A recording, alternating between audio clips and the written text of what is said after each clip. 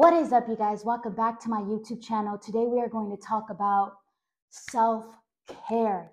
You guys, self care is so crucial to your own self healing journey.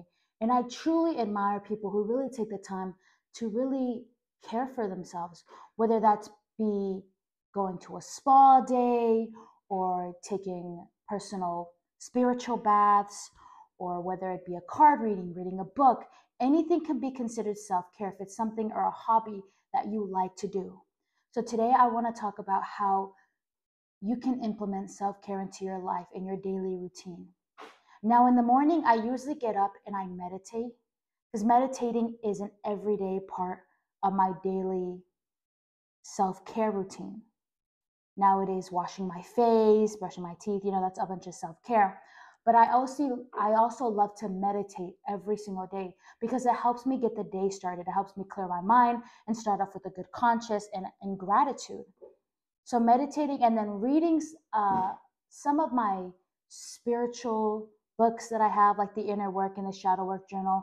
I usually read that in the morning, um, whether it be a couple pages, and it really helps me like dive in. So I start my day with being self-aware grateful for what my day has to bring and um, just in a very positive mindset. Oh, also breathing techniques.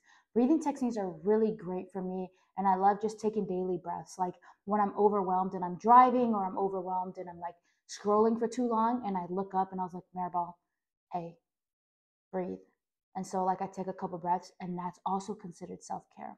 Self care is very important. So, I want you guys to really take today or tomorrow to run your self a, a spiritual bath or do some self-care, meditate, maybe some yoga. Hey, yoga is amazing and it helps, you know, relax the body and your mind. And that's all I wanted to touch on today. Today was a quick video and I just wanted to touch on self-care. I love y'all. I'll talk to y'all later and stay tuned for my next video coming Thursday at 8 p.m. Eastern Standard Time. I love y'all. Bye.